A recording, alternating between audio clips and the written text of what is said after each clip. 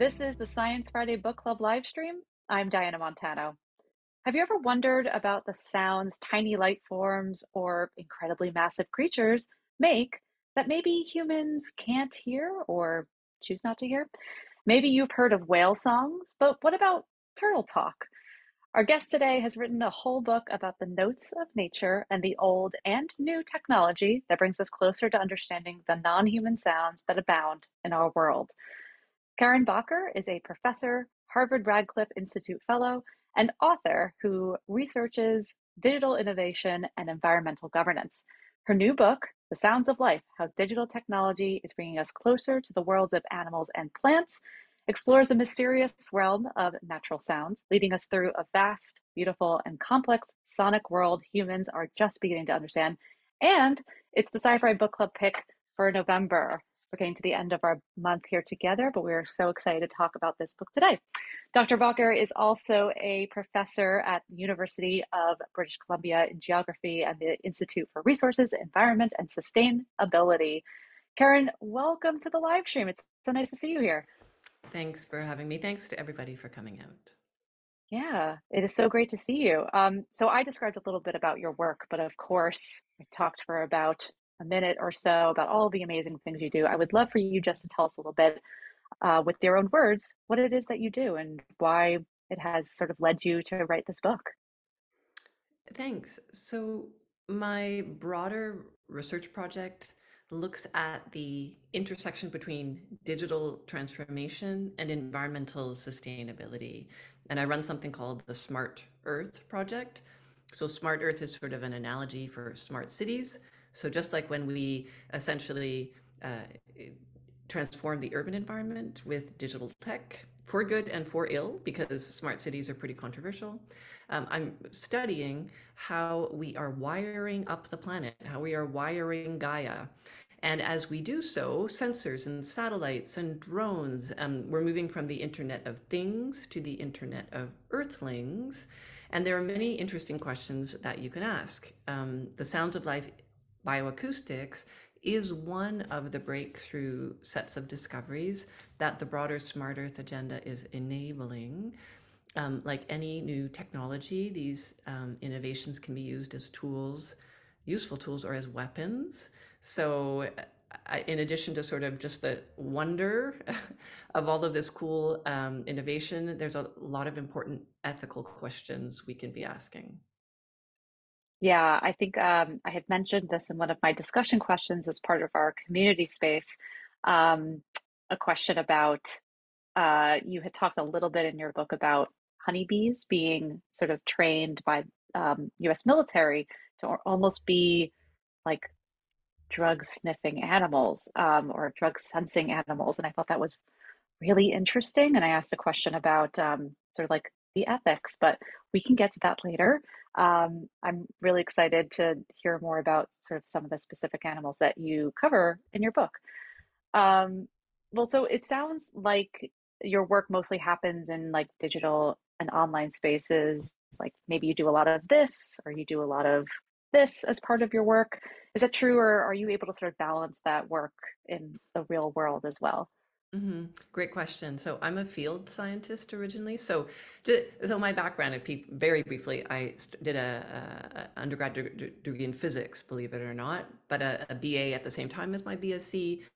And then I decided to do a PhD in geography because it was the only discipline that let me do the natural and social sciences. Started studying climate change in the 1990s. My supervisor literally worked in a garage because it was not very widely accepted even in the scientific community at that time. Mm. And since then have continued to do the um, sort of applied field work. Uh, a lot of my work is on water. Some of that work is outdoors.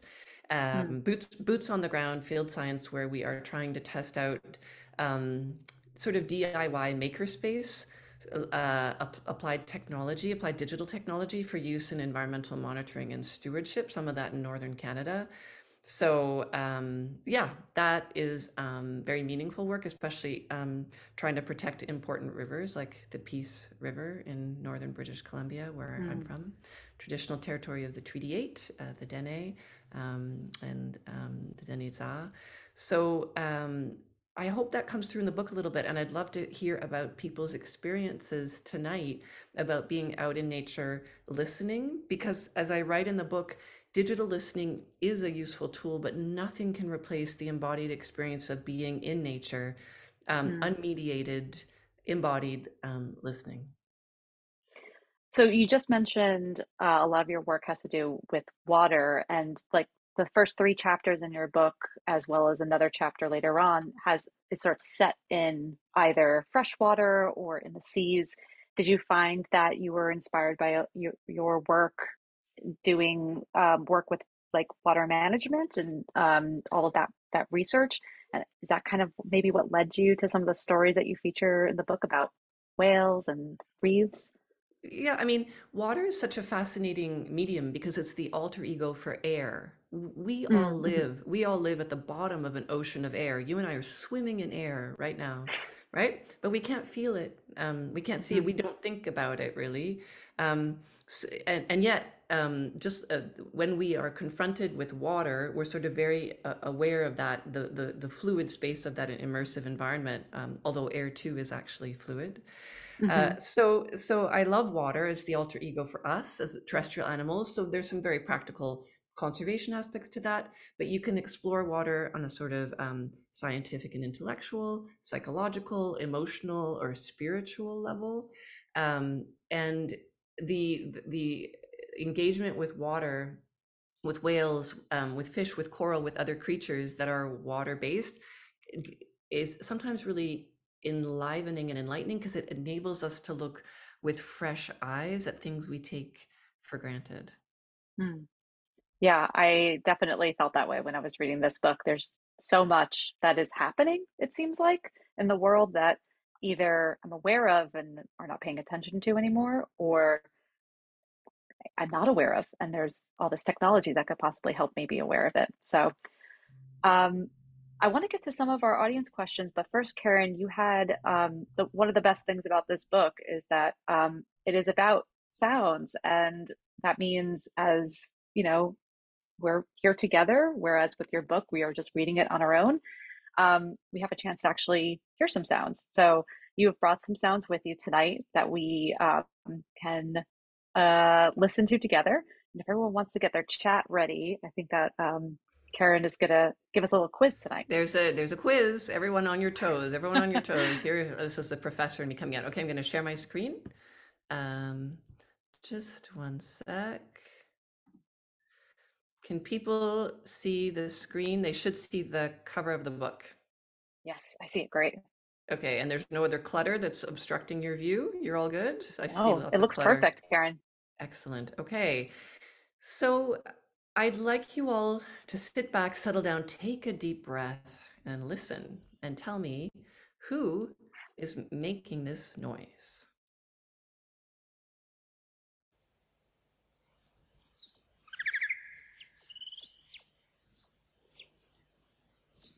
Can people hear that?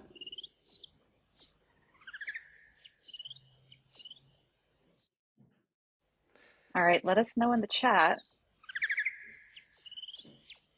Who do you think is making this noise? Karen, how, how specific do you want people to get? I want people to get very specific. I'm going to give you 30, 30 more seconds, 30 more seconds. Put your thinking right. hats on. All right. So the great reveal, it is a bat. Now, not all of you um, may have heard bat sounds. Um, I was recently rock climbing this past summer, and there was a l- beautiful little bat hiding in a rock crevice, and we got up really high. And boy, that bat did not want us to be there. And we we heard some of those sounds, and it, you know, I didn't really know what the bat was saying, but the intent was clear: get out of my space. So lots of bats make noise, which we have known, of course, for um, centuries. The discovery of echolocation, which I talk about in the book, uh, occurred uh, nearly a century ago, but only recently, thanks to digital technology, have we been able to listen systematically to the vocalizations of bats, many of which are in the high ultrasound beyond our human range of hearing. Um, and those vocalizations are not used only to echolocate, they are actually used for many other purposes. The echolocation, of course, you might be familiar with. Bats hunt on the wing. Uh, uh, Their echolocation, their biosonar is, you know, amazing uh, honed by evolution to be um, more accurate than our finest medical devices. Plants have evolved to reflect certain shapes, um, sounds back at bats to make pollination easier. This beautiful interspecies communication dialogue between pollinators and plants. Uh, honeybees and flowers also do this, right? Um, so I talk about this in the book. But what's amazing, I think one of the most amazing things about our discoveries uh, with bats is the work of Mirjam Knörnschild. If you've read the bat chapter, um, I'm not spoiling it. If you haven't, spoiler alert. Um, the work that Mirjam has done has revealed that uh, bats, at least the species she studies, greater sac-winged bats, are capable of vocal learning. This is quite unusual. Not that many species that uh, we know of actually engage in vocal learning. We could only hear it thanks to this digital tech. And once we decoded it, we realized that the, the parents, the mother bats, are babbling at the babies, just like human parents babble at our babies.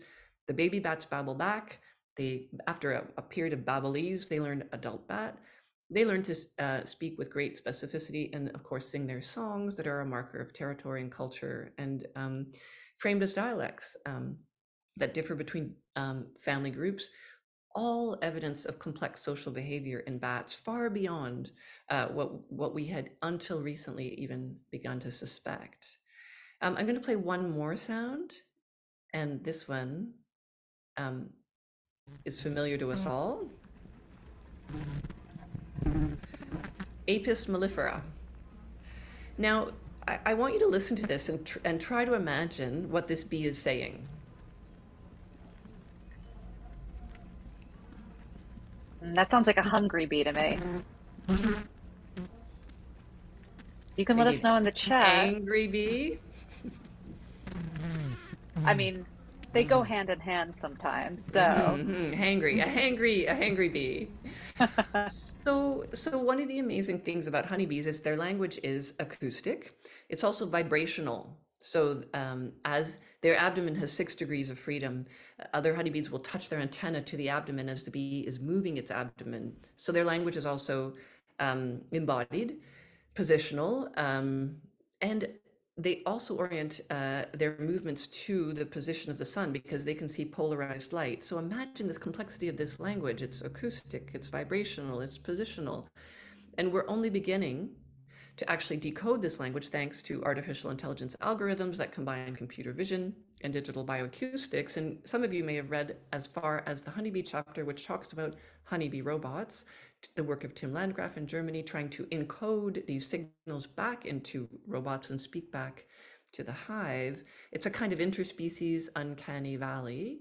And I thought I'd just show you a very short video from his lab in which he's trying to get his robot to do the waggle dance, to teach uh, the honeybees where to find a new nectar source.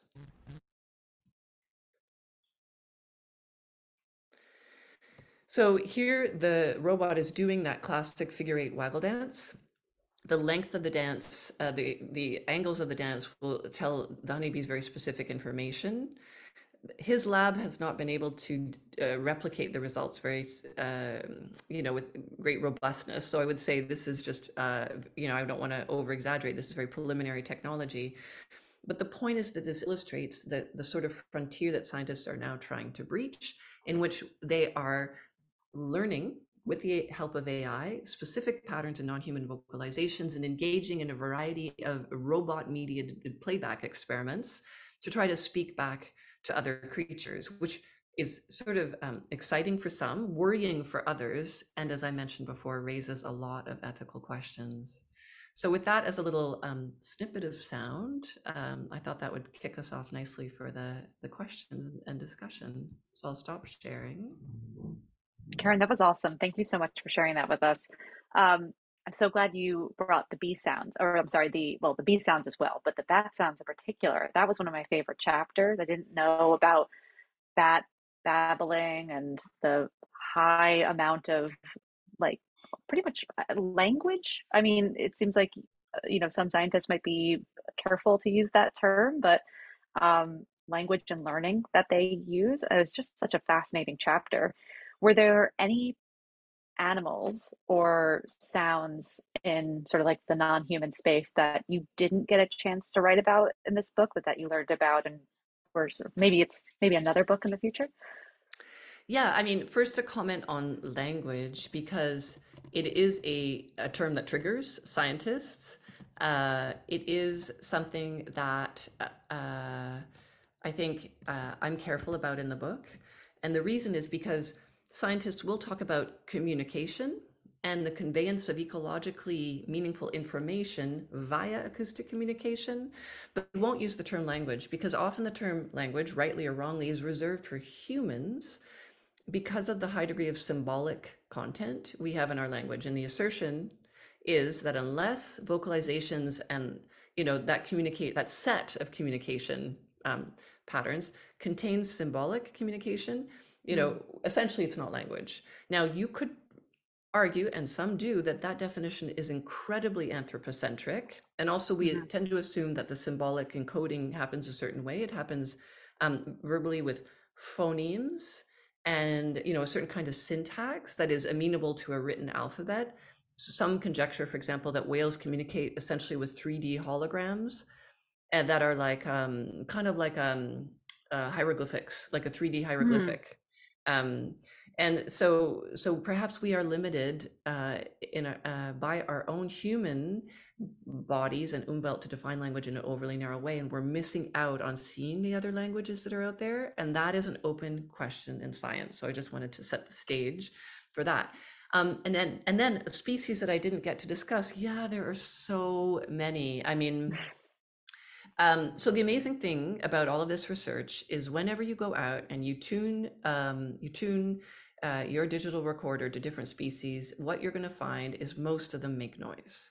So hmm. there's just a, re, a, a, a, paper that just came out. People might have seen it in the news after I finished the book. Uh, this young researcher went out and he just recorded the sounds of over 50 different turtles around the world. Well, guess what? They all make noise, but they yeah. had not been thought to be vocally active until someone just went out and started to listen. And so, mm-hmm. and so that is that is the sort of one of the messages of the book it seems like almost everything in nature is sensitive to sound that may be universal, and quite a few species are actually um, acoustically active, either at frequencies we couldn't hear or simply we didn't pay attention. And that really starts to you know revolutionize some assumptions in western science about the privileging of sight over hearing in mm-hmm. um, how we mm-hmm. engage with the world yeah uh, this book really taught me that too is that just because other species are experiencing the world different differently doesn't mean that they're experiencing it less and that we actually might be missing out by just not having as good of hearing as some other species so um, well we've got some great questions from our audience and so i'm going to start with a question from michael so michael has a question about battery and other technology other bioacoustic technology so um, Michael, we're going to turn on your microphone. You can ask your question whenever you're ready. Oh, great. Hi, Karen. I really enjoyed your book. Thank you. Um, my question is in the book, there's mention of the need for improved battery and like uh, communications technologies for bioacoustic research in the future. I'm also wondering about microphone technologies and if those are sufficient, I guess, for anticipated needs in terms of covering both infrasound and ultrasound? Or do you uh, anticipate there will be some additional um, technology changes that will make that better? Mm-hmm. Great question. So, um, to give people some context for Michael, your question is a really good one. Uh, you know, in the 1960s and 70s, when people were going out and recording these sounds, you essentially had to bring a whole minivan of equipment. It was very cumbersome um, I'm old enough to, you know, remember like um, analog recording with like these big, you know, reels. okay, mm-hmm. so then we move to digital, then we miniaturize, we automate, it becomes portable. Um, Mirjam Knörnschild even talks about uh, doing her PhD and starting out with these, you know, 10 pound cases she had to lug into the jungle, and now the recorders will fit in her back pocket. So the pace, as you can, you know, imagine, of, of miniaturization and automation has really been game changing. Um, but yet, Michael, you're absolutely right. There are still some technological um, limitations. One of them is battery life. Like we cannot put these um, digital recording devices out there uh, forever. The other thing um, that I think is is really challenging for researchers is they still have to gather all that data and then they have to bring it back to the lab and then they have to start processing it with whatever sort of a natural language processing or equivalent algorithms they're using and so and um, in addition to um, better batteries um, you know or or you know solar setups that help these uh, digital bioacoustics arrays sort of become um, and self-sustaining from an energy perspective. What what also uh, we need is basically um, processing um, right on the device.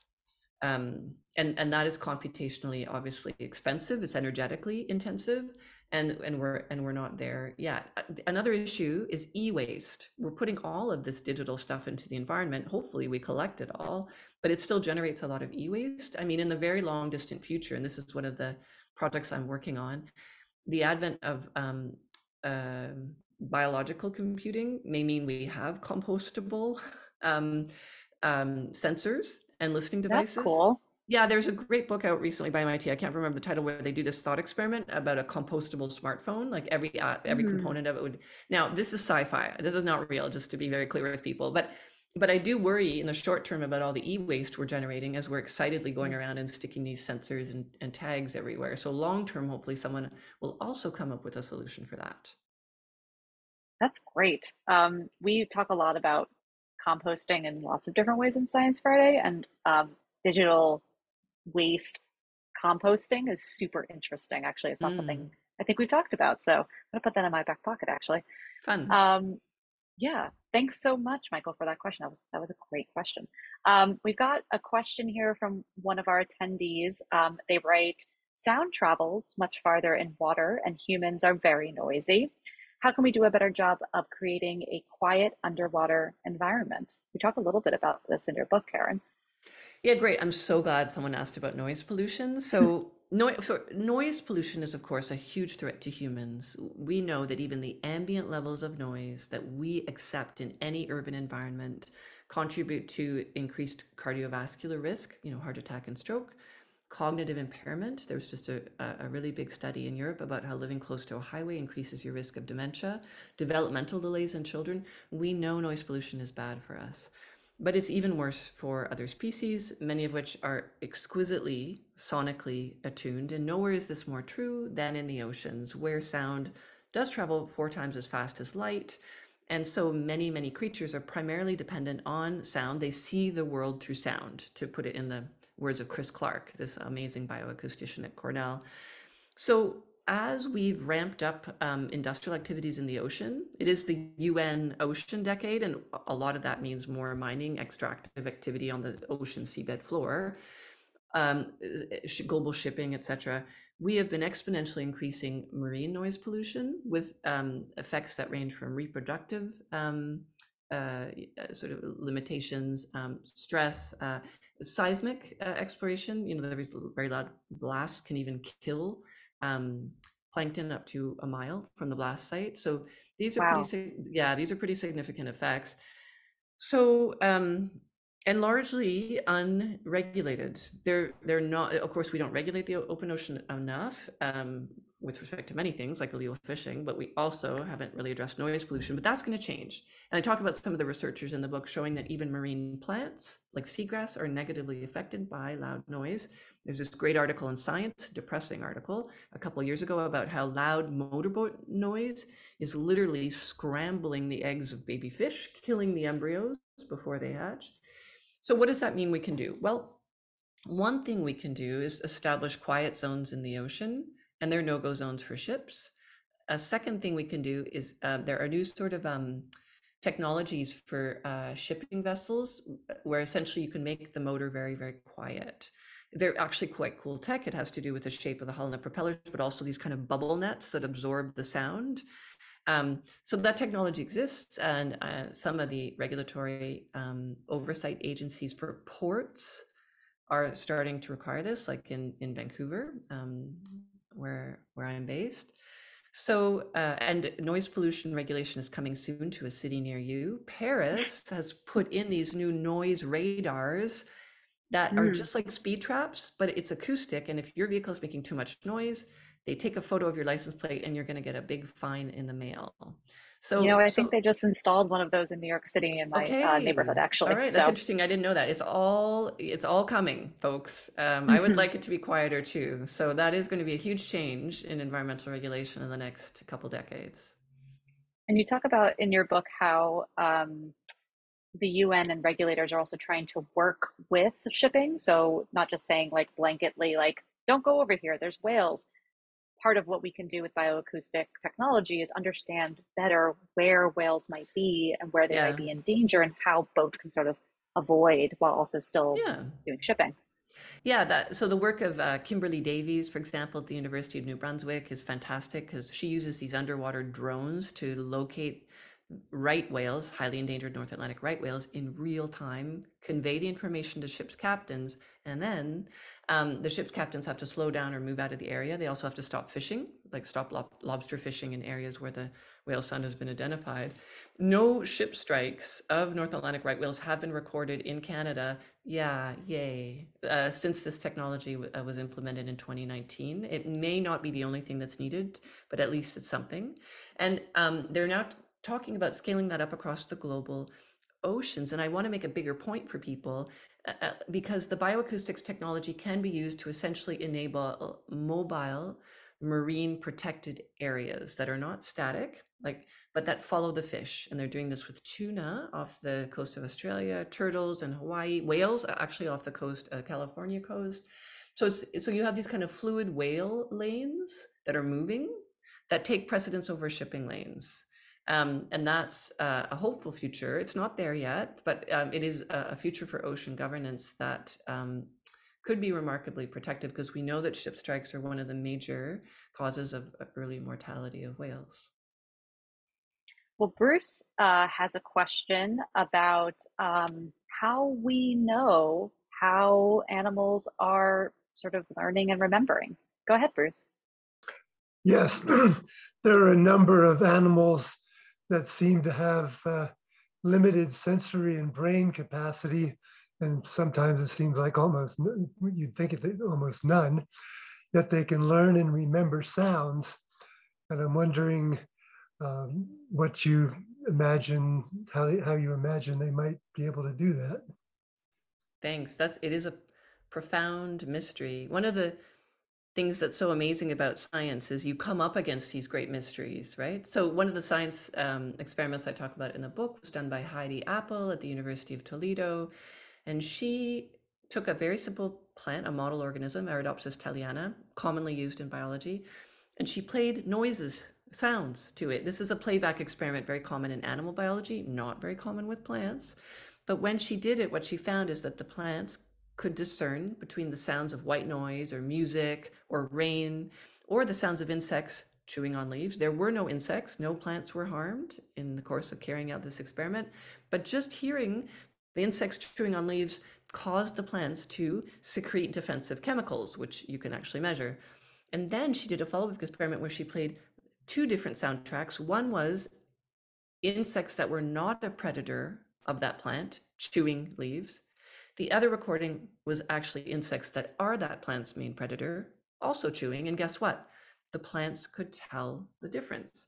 So their sense of hearing is way more sensitive than our own. We don't know how exactly we do this. They do this, except we do know they have little cilia on their leaves that are called trichomes, just like the cilia in your ears that are allowing you to listen to me. Those cilia vibrate there is some biomechanical reception that's occurring. And you could speculate that the plants are tuned to the specific frequency of that in, insect, so subtly tuned that they would vibrate at a sort of um, a greater frequency with uh, in response to those specific sounds. And that um, biomechanical reception could cause the you know the the biochemical cascade necessarily uh, you know occurring to release the stress hormones um, but that's only speculation. We actually don't know the answer. And it's really hard for us to answer that for creatures that are not like us because they don't have neurons. So we tend to associate intelligent responses, the ability to absorb information from the environment and respond with an appropriate behavior, is associated with neurons. We're very, you know, neuron focused. Um, Mhm. and and and so there when confronted with this strangeness, because it is really strange, um, you know, scientists are have- having to come up with entirely new experimental protocols to seek to answer the why of these behaviors. Right now, we only know the sort of um, how, if that makes sense. Yeah. Um, you talk a little bit in your book as well about um, fish and coral spawn and how that even there was an experiment with different um, uh, speakers in the ocean. It's just like a res- research that I found so fascinating, and again, like completely changed my perspective of what it means to sense the world. Can you talk a little bit about that chapter? Yeah, so the there's um, a common assumption that we tend to make that um, creatures that don't have obvious hearing organs are not sensitive to sound. And that assumption is being um, sort of undermined uh, by a, a growing and now large number of empirical studies on the abilities of organisms without ears to essentially hear. So that chapter tells the story about one example, which is fish larvae and coral larvae. So um, the fish larva discoveries came first. Um, scientists would basically do work in the lab, and they have these kind of mazes. Imagine an aquarium with lots of little um, arms. So it's like a maze, it, and it's called a choice chamber. And you can choose. You put that little fish larva in the middle, and then they can choose to go down different arms. And at the end of each arm, you put a speaker, and each speaker is playing different music. So it could be playing white noise, or or the control is no noise at all. Maybe it's going to be playing Metallica down another arm. Maybe it's going to be playing hip hop.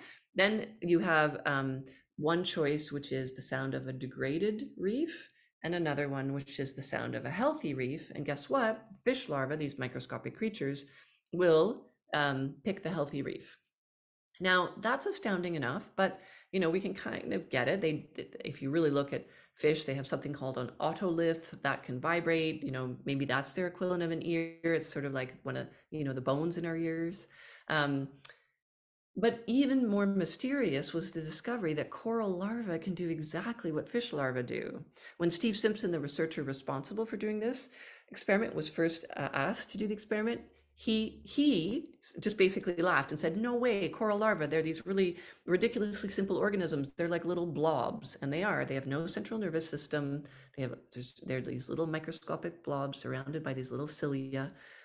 But if you put the coral larvae in the aquarium in the choice chamber, they too will pick the sound of the healthy reef." And even more astounding, if you give them a choice between any random healthy reef and their home reef where they were born, guess what? They'll pick their home reef. Now, coral larvae Wow. are born in these mass spawning events. I know, wow. Coral larvae are born in these mass spawning events at the um, on the Great Barrier Reef at the full moon. We don't know why, but imagine uh, like this fireworks. They all wash out to sea. How do they know how to settle back home? Researchers used to think it was random. You know, they're haplessly washed here and there by the waves, oceans, currents. Well, it turns out Mhm. they swim back home, which is a migration sort of equivalent to the great migrations of the salmon, you know, back up into the mountain streams. So that's a great example of scientists, and the, the scientific community was astounded by Steve Simpson's work. He did very, very meticulous work in the lab and in the ocean. Um, and they're still not quite clear how coral can do this, but they do know they have cilia, Mhm. and just like our ears they're little inside out ears actually but um, it leads to a more general hypothesis which is that um, the ability to sense sound is actually quite useful from an evolutionary perspective. Um, very back in deep you know way back in deep time our ancestors before they had eyes before they had ears they could have sensed vibrations and it would be a, a, a- useful adaptation to be able to sense those vibrations and know if you're dealing with a predator or a you know or prey or a potential mate so it may be that the ability to sense sound and or vibrations they are slightly distinct um, is universal in all living organisms and we just had never thought to look for it Yeah, it's amazing what you'll find if you ask the right questions, right? yeah and So, Uh, I just want to say to people, one of the wonderful things about writing this book is all the scientists who persisted against, you know, opprobrium from many of their colleagues and simply asked what if questions, which is one of the beautiful gifts of science to say, well, what if, you know, and they, you know, by asking that, they just um, open the door on so many wonderful things. yeah. Um, before we get to more audience questions, um, you talk a lot about different indigenous cultures and knowledge that are found uh, the foundation of our understanding of the world. So you talk about um, the cetaceousness or connection between humans and whales of the Arctic um, Inupiat, um, the Amazonian Kamayura uh, practice of dialogue with the forest, Indonesian fisher folks' ability to hear a healthy reef through their oars. That's just a few of the um, uh, examples that are in your book. Can you tell us a bit about why you interweaved these discussions of those practices throughout your chapters? Yeah. Um, so, um, so I, you know, in Vancouver, I live on the unceded Coast Salish territory of, you know, the Musqueam, the Squamish, and the tsleil I've been fortunate to do work with Indigenous scholars uh, like the Anishinaabe lawyer John Borrows and others, and do um, work in um, Dene territory in northern British Columbia. Um, you know, on the Peace River, which is a tributary of the Mackenzie, which is uh, like Canada's cold, North America's cold Amazon. You may not know the Mackenzie River, but it's a it's a remarkable river. It's only slightly smaller than the Mississippi, but flows north to the Arctic. So that that work um, gave me many lessons, and um, the book seeks to call attention to the fact that Indigenous knowledge, Indigenous science, has a very uh, profound, a, a, rich, nuanced, and very place based um, set of techniques and understandings of the sounds made in nature, which uh, usually far outpace Western science. And um, as Robin Wall Kimmerer says, I, I love her book, Braiding Sweetgrass. I hope people have read it. If you haven't, please Please we read do. it last month for the okay, book amazing, yeah. amazing, perfect great book. one too. Yeah, yeah, and so her her work is illustrative of this point that there are these um, practices of deep listening um, which reveal a lot about nature, and Western science is sort of playing catch up in a lot of these contexts, like the Inupiat that you mentioned. Um, by holding, by t- putting the wooden oar, the blade of the wooden oar in the water, and holding the end of the order their jawbone, they can hear all these sounds and they can decode them and understand the ecological significance, right? They patiently taught these Western bioacousticians how to start listening. The Kamayura in the Amazon, the very dense forest, um, uh, listening is is actually uh, far more revealing than seeing in a very dense forest, and so they cultivate the art of listening from a young age. And, and the book also talks about some of the anthropology uh, that has really really really not only um, sort of exposed the science but also the relationality of listening and so digital listening I, I i sound a cautionary note because it is sort of like digitally enhanced eavesdropping we don't ask permission we don't ask consent we harvest the data while assuming that these are these non-humans are not persons Whereas from an indigenous perspective, the non-human persons who live in this place are in dialogue with humans, and that's a very different basis on which to engage in listening. And I think these are very important ethical insights and guideposts that we need as we sort of debate what to do with our newfound superpower, because it is sort of a superpower to begin thinking about um, playback experiments with non-humans and interspecies communication. And so we're desperately in need in some of these ethical guideposts. Yeah. Did you find that by writing this book and by seeking this knowledge, uh, that your experience moving through the world and listening to the world was different? Yeah, I mean, I'm way more sensitive to noise pollution, for Mm. one thing. hmm I bet. Yeah. Um, you know, it's it's amazing how much noise we tune out.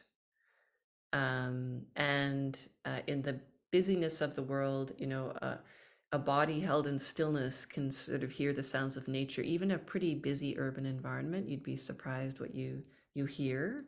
Um, so yeah i've i've started to listen differently. I, I, the other thing is is silence. I think um, we tend to assume that when we listen and we hear silence that um, that space is devoid of sound but it might be very rich with sound but we can't hear it. So it's also this understanding that you know the, our, our, our, the limits of our sensory capacities um, mean we need to engage all our senses um, in uh, an integrated way.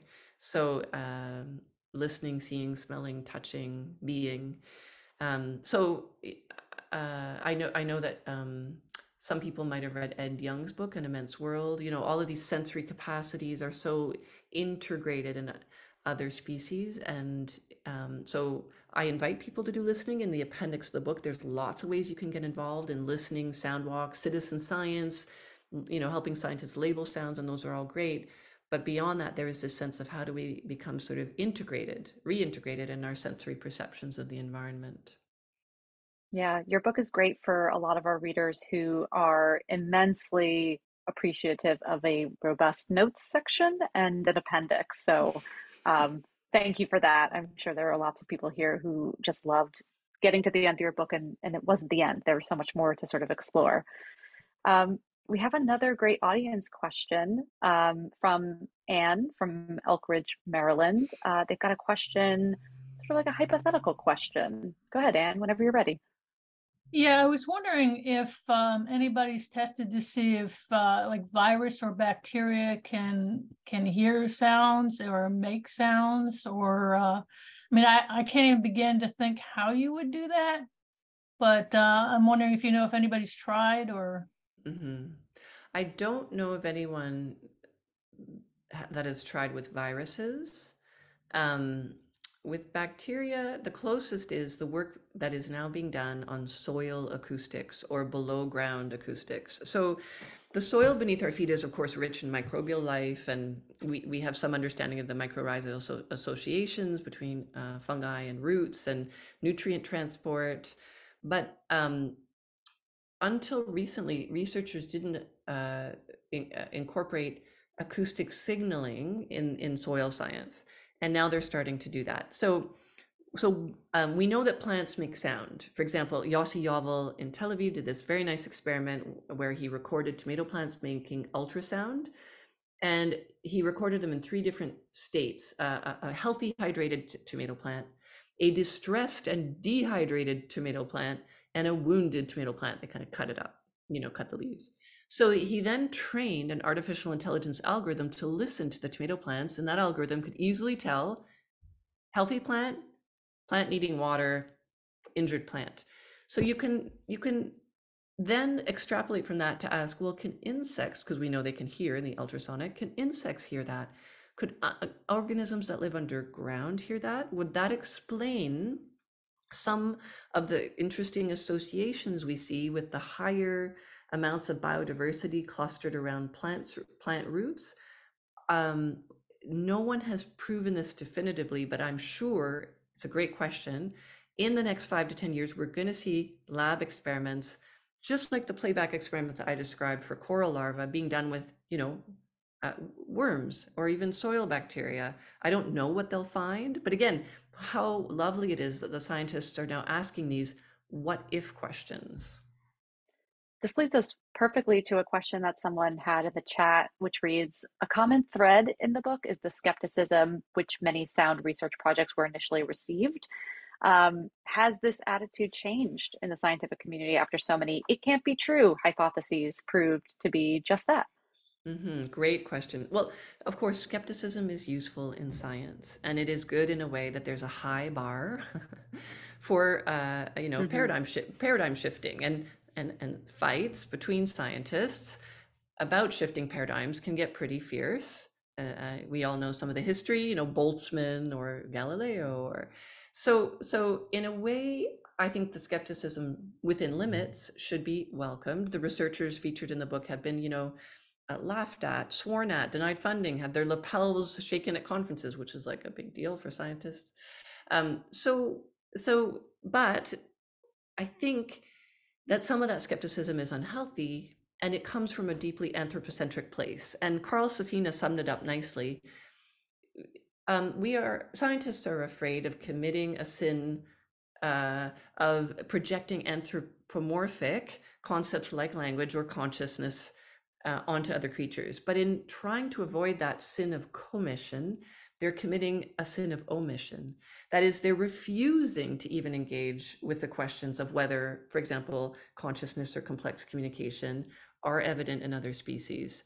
So we have to walk a fine line. We don't want to commit the sin of commission. We don't want to just, you know, project our uh, um, capacities onto other species, but nor do we want to avoid even asking the question of whether they possess them. And science has erred a little too much on that latter side in the past hundred years. I do think this is now changing, but as it's changing, researchers are trying to adopt a more biocentric perspective.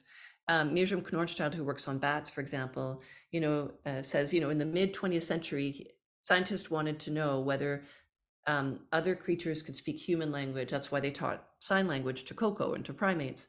She said, I'm not interested if they can speak human language. That would be like asking, Am I intelligent because I can, can or cannot speak dolphin? That's not meaningful. She's much more interested in what uh, bats, in her case, have to say to one another or to say to different species rather than asking if they want to speak to us or rather than demanding that they display language or communication um, on our terms. And I think that non anthropocentric approach is much, much healthier.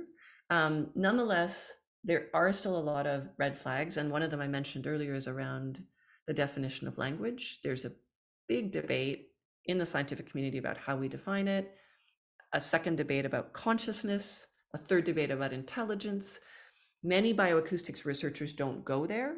They work on information, communication, and behavior, and, and they advance their empirical results. Eventually, the weight of that empirical agenda will be enough to sort of, um, you know, um, trigger some new openings in the, say, the more philosophical debates, but we're not there yet. Karen, thank you so much. We're just about at the end of our time here together. It went by so quickly. Um, but I want to give you a chance. If is there anything, uh, if people haven't been convinced by this conversation to get the book yet, um, is there a part of the book that you really love, or that people who have read the book consistently tell you is their favorite part that you would encourage people you, you, that you would say to encourage people to pick it up at their local bookstore or their library? Yeah, I mean, anyone picking up the book, pick your iconic species. If the bats speak to you, or the turtles, or the whales, or the coral, uh, or the elephants. Um, but for those of you um, who want to just dip in, I would suggest that the introduction tells um, a story that uh, is something that I hope all of us will take to heart and that is the the story begins with a very simple observation that humans compared to our cousins on the tree of life are very poor listeners hmm. and much of the sounds of nature you know the the, the um, beautiful ultrasonic uh, of so many species the infrasonic of other species elephants whales even the planet itself making all, um, infrasonic if it, it, that whole notion of nature's symphony ongoing all around us and the wonder that comes from being able to open our ears and listen um, that's all captured on the first few pages.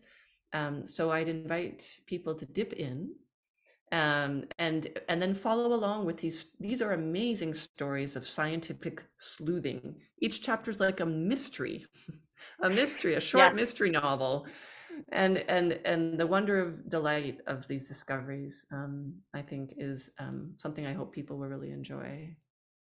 Yeah i absolutely did. So once again the book is the sounds of life how digital technology is bringing us closer to the worlds of animals and plants. Um, it was lovely to have you here karen. It is such a wonderful book and i'm so glad that we could pick it for SciFri book club this month